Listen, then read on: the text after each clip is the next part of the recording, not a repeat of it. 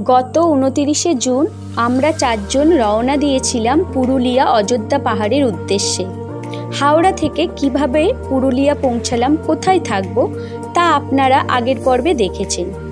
যদি এখনও না দেখে থাকেন, তাহলে উপরে আই বাটনে ক্লিক করে এখনই দেখে নিন। এই পর্বে থাকছে পুরুলিয়ার যে যে স্থানগুলি আমরা ঘুরব, তার প্রথম দিন। চলুন শুরু করা যাক।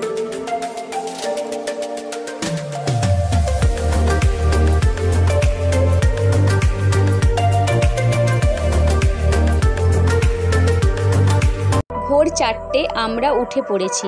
আজ আমাদের প্রথম গন্তব্য উসুলডুংরি সানরাইজ পয়েন্ট।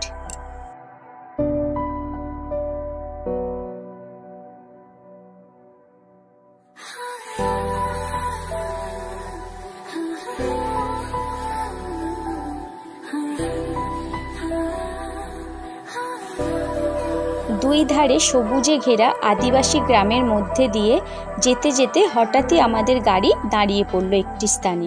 দেখতে পেলাম একটি ময়ূর মনের খুশিতে ঘুরে বেড়াচ্ছে। চলে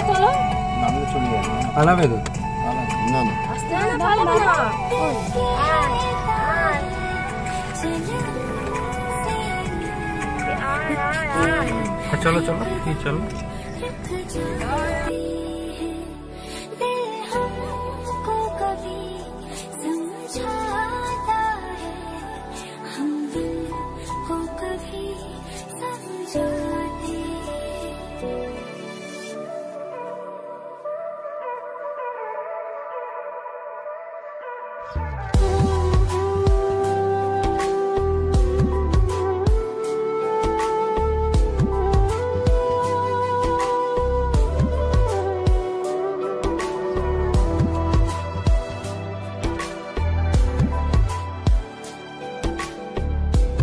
ভোরবেলায় আলো ভালো করে ফোটেনি। রাস্তাঘাট একদম ফাঁকা। কিন্তু যখন আস্তে আস্তে আমরা গ্রামের দিকে ঢুকছি, যেহেতু এটি আদিবাসী গ্রাম, দেখলাম ভোরবেলায় অনেকেই এখানে উঠে পড়েছে।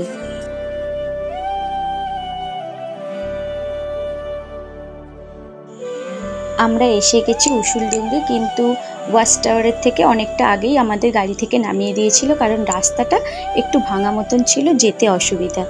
একটু আগিয়ে গেলেই সামনে ওয়াচ টাওয়ার তার উপর থেকেই আমরা সানরাইজটা দেখব।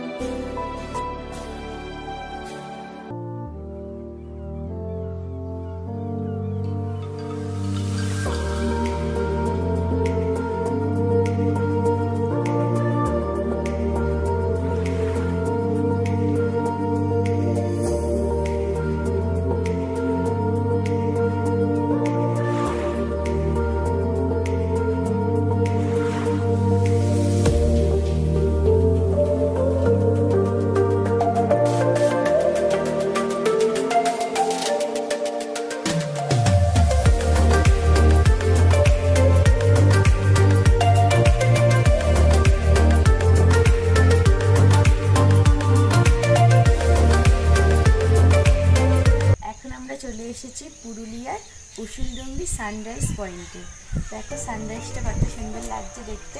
কিন্তু হালকা হালকা একটু মেঘ আছে। থাকলে মেঘটা যদি না থাকতো আরও ভালো লাগছে দেখতে।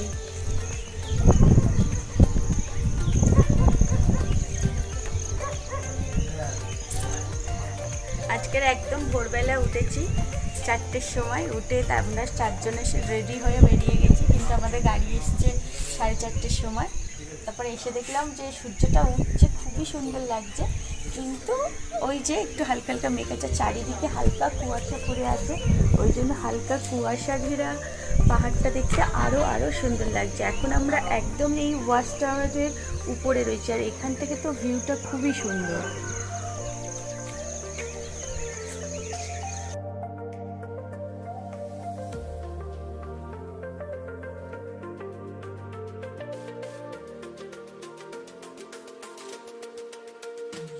সূর্যোদয় দেখে আমরা ফিরে এলাম আমাদের গেস্ট হাউসে।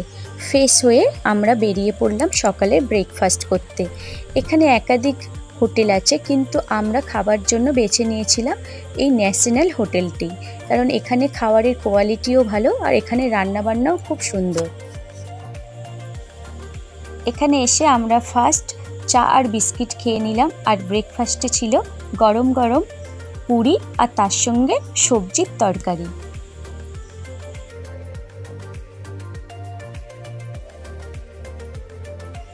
ব্রেকফাস্ট করে আমরা বেরিয়ে গেলাম সাইট সিন দেখতে। এখন আমরা ময়ূর পাহাড়ে যাব।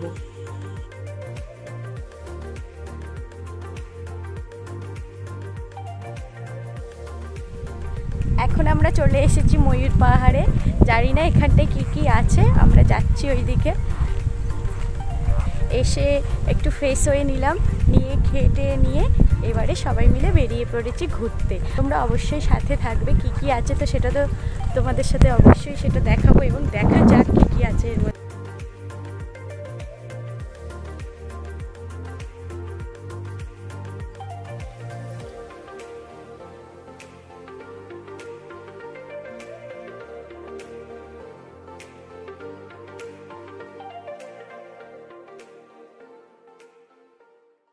পুরুলিয়া হিলটপের খুব কাছেই অবস্থিত এই ময়ূর পাহাড়।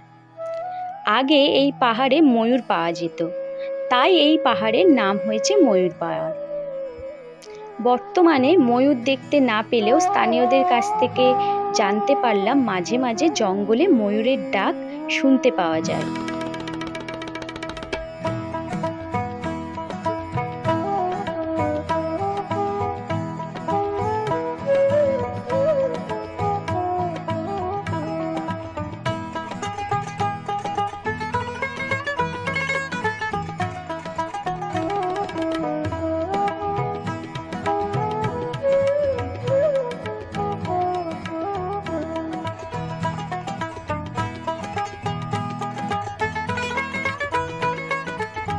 এখানে রয়েছে একটি ওয়াচ টাওয়ার যার উপরে উঠলে অযোধ্যা পাহাড়ের বিভিন্ন রেঞ্জগুলির প্যানারোমিক ভিউ দেখতে পাওয়া যায়।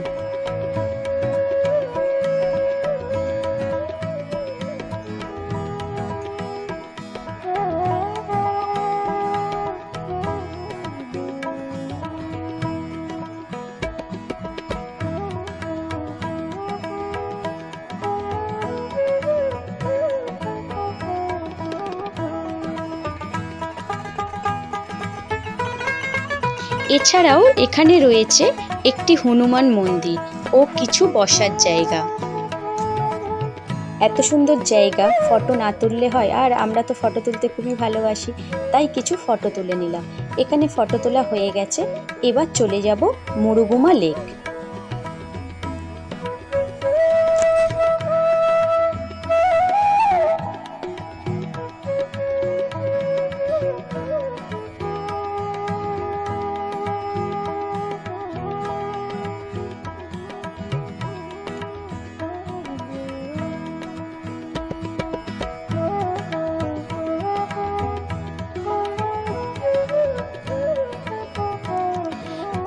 পুরুলিয়া হিলটপ থেকে মুরুগুমা ড্যামের দূরত্ব সতেরো কিলোমিটার।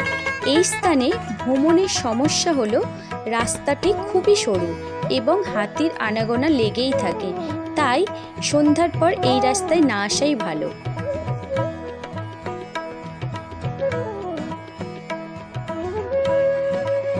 এই রাস্তা দিয়ে যাওয়ার সময় আমরা আশা করেছিলাম যে হাতি দেখতে পাবো। কিন্তু ড্রাইভার দাদার কাছ থেকে জানতে পারলাম সব সময় হাতি দেখতে পাওয়া যায় না। যখন, বিশেষ করে শ্রাবণ মাস এবং যখন শস্য পাকে, তখনই হাতি বিশেষ এই গ্রামের মধ্যে ঢুকে যায়। মুরুগুমা ড্যাম যাওয়ার আগে রয়েছে মুরুগুমা ভিউ পয়েন্ট বা সুইসাইড পয়েন্ট। এখান থেকে মুরুগুমা ড্যাম এবং অযোধ্যা পাহাড়কে দেখতে খুবই সুন্দর লাগে এবং ফটোপ্রেমী মানুষের জন্য এই স্থানটি খুবই প্রিয়। এখন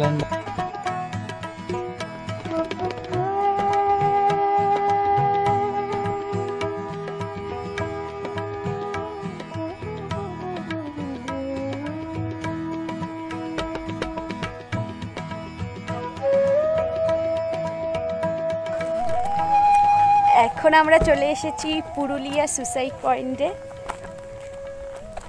যে রাস্তা দিয়ে আসছি, রাস্তাটা পুরো ফাঁকা পুরো ফাঁকা। নিচে পুরো খাদ আর একদিকে উঁচু পাহাড় আর তার মাঝখান থেকে রাস্তাটা একদম ফাঁকা, শুধু গাছপালা শুধু গাছপালা।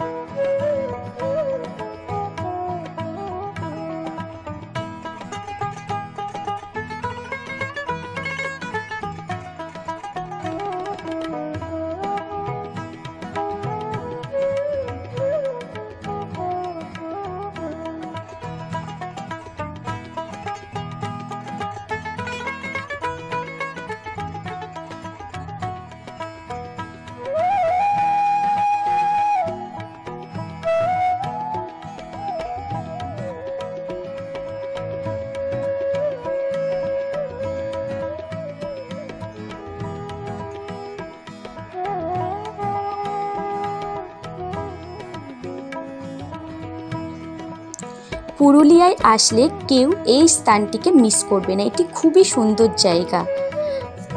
সুইসাইড পয়েন্টে আমরা কিছুক্ষণ দেখার পর এবার চলে যাব মুরুগুমা ড্যামের দিকে।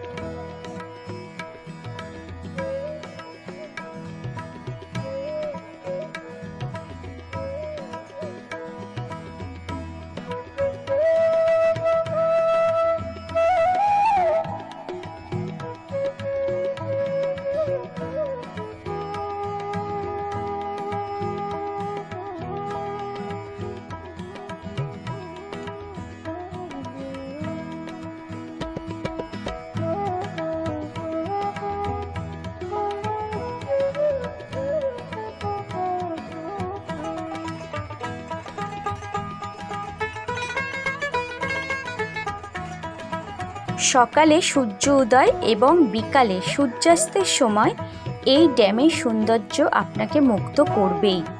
এই মুরুগুমা ড্যামের পাশেই রয়েছে পলাশবিতান ইকো রিসর্ট।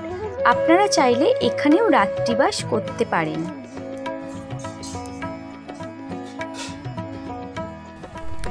আমাদের ভিডিও কেমন লাগে অবশ্যই কমেন্ট করে জানাবে। আর ভালো লেগে থাকলে লাইক, শেয়ার, সাবস্ক্রাইব করে দেবে পুরুলিয়ার ফুল ভিডিও পেয়ে যাবে। এটা কিছুটা দেয়া হলো। আবার পরেরটাতে ফুল ডিটেলসে সব কিছু দেবো। তাহলে বন্ধুরা, খুব তাড়াতাড়ি আবার পরের ভিডিওতে দেখা হচ্ছে। সবাই খুব ভালো থেকো, সুস্থ থেকো। টাটা!